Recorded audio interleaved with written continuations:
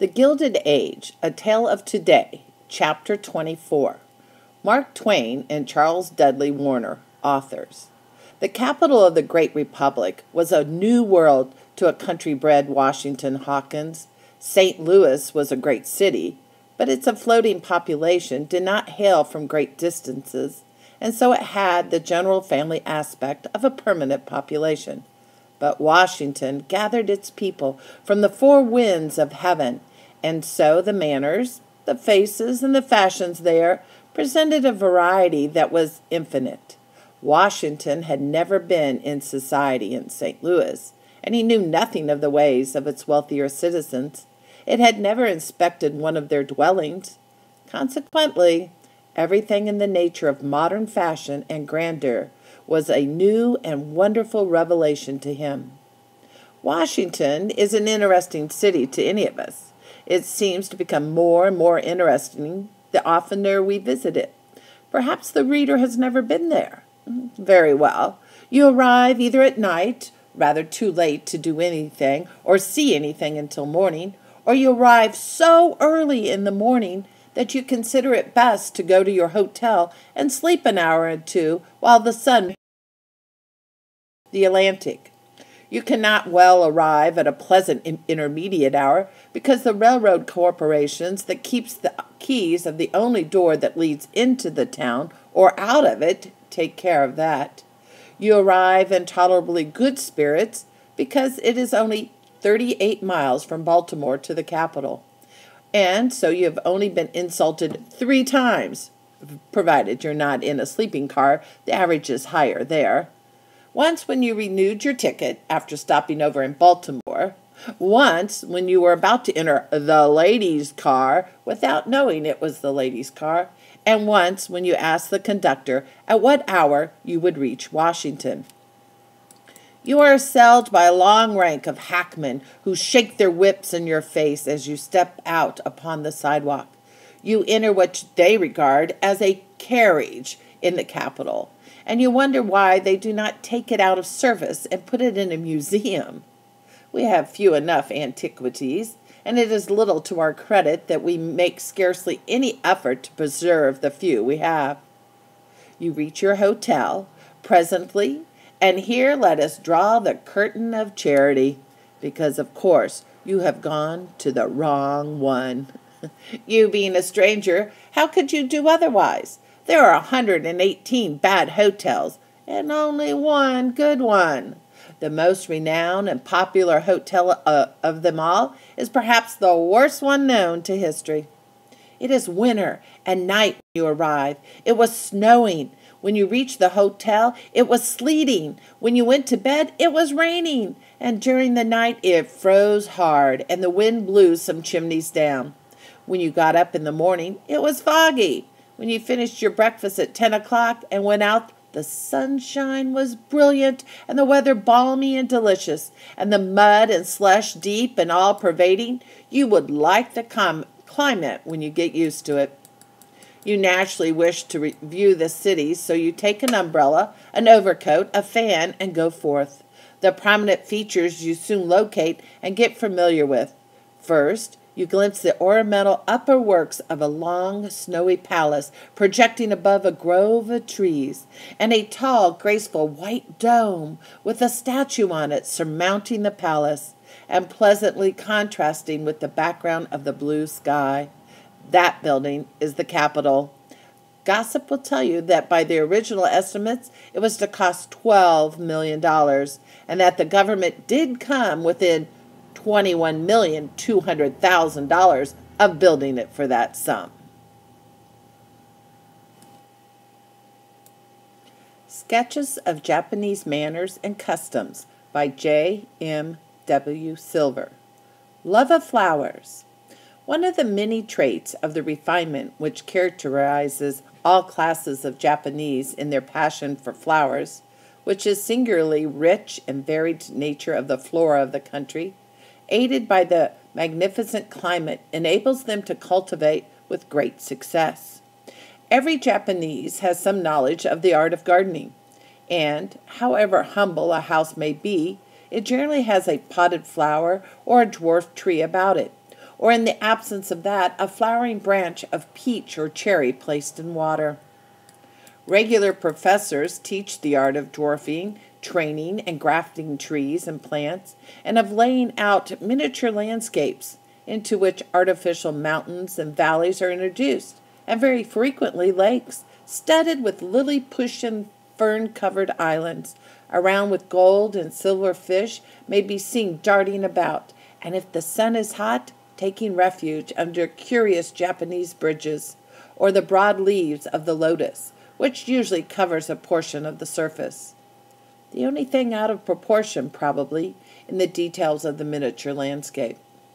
The sitting apartments in Japanese houses are generally situated at the sides or back, and either open upon flower beds, grounds of the above description, or some kind of enclosure shaded by peach or pear trees, trained trellis fashion overhead, or by cedars, with one solitary bough twisting fantastically over the ground, showing, in its unnatural contortions, the skill of the artist. The other branches have been lopped off or stunted to facilitate the growth and training of this one. Gardens for the sale of dwarf trees and flowers are also very common. Some are the perfect bijou, as the rule, the varied collection of flowers planted in colored china pots are arranged with very agreeable effect in tiers of shelves around the sides and on the stands about the gardens. Many of the dwarf trees, especially the maples, have great variety of foliage, the result of constant grafting. To such an extent is this practi- practiced that it is rare to find pure botanical spe- specimens in a Japanese garden. Plants are sometimes cultivated for their berries as well as for their variegated fo- foliage. One very beautiful specimen, producing at the same time bright scarlet and yellow berries, is believed by many to have been obtained from the cuttings of an exquisite shrub, which is said to be the principal ornament of the regions of the Kema, or Japanese heaven. Even the fern family undergoes a strange metamorphosis at the hands of Japanese gardeners. Some of the fronds are artificially variegated, and others, on reaching maturity, have a curious crumpled appearance. Again, the roots of certain small species are frequently twisted into curious devices and hung up in grottos or shady corners. The effect of these, when the roots are partly concealed by the fresh young fronds, is very pretty. Nearly every fortnight a fresh flower comes into season and is in great demand for the time, heavy prices being readily paid for the fine specimens. The poorer classes commonly buy flowers from men who gain their livelihood by hawking them about the streets. They buy them not only to gratify their tastes, but as offerings to their lars or their penes, patron kamas, or to decorate the tombs of departed relatives, a religious ceremony which is strictly observed. The Age of Innocence by Edith Wharton. Number 9. Newland Archer prided himself on his knowledge of Italian art.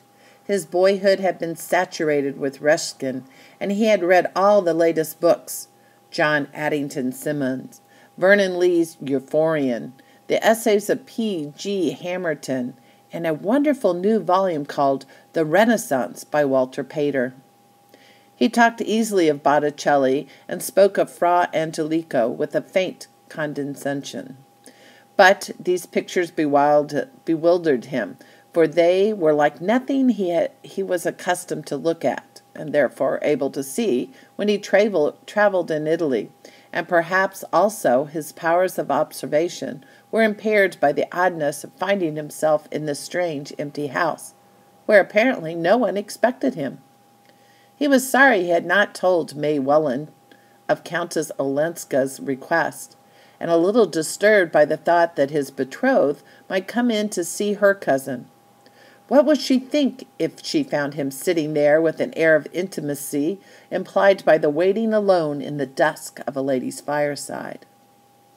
But since he had come, he meant to wait, and he sank into a chair and stretched his feet to the logs. It was odd to have summoned him in that way and then forgotten him.